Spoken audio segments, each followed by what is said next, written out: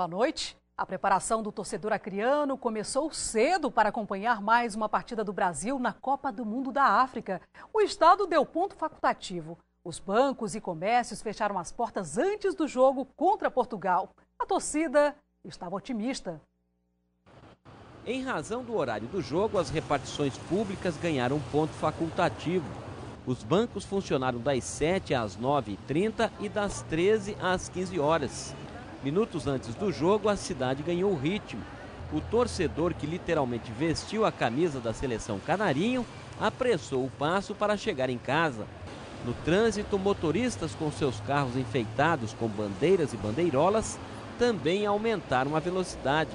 No comércio, à medida em que se aproximava o início do jogo, os lojistas iam baixando as portas, todos apressados para não perder nenhum lance.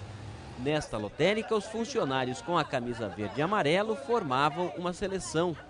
Neste ponto de táxi, algumas pessoas pararam para ver o jogo.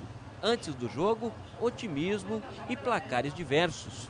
2 a 1 um para o Brasil. 3 a 1 um. Vai ser de 3 a 2.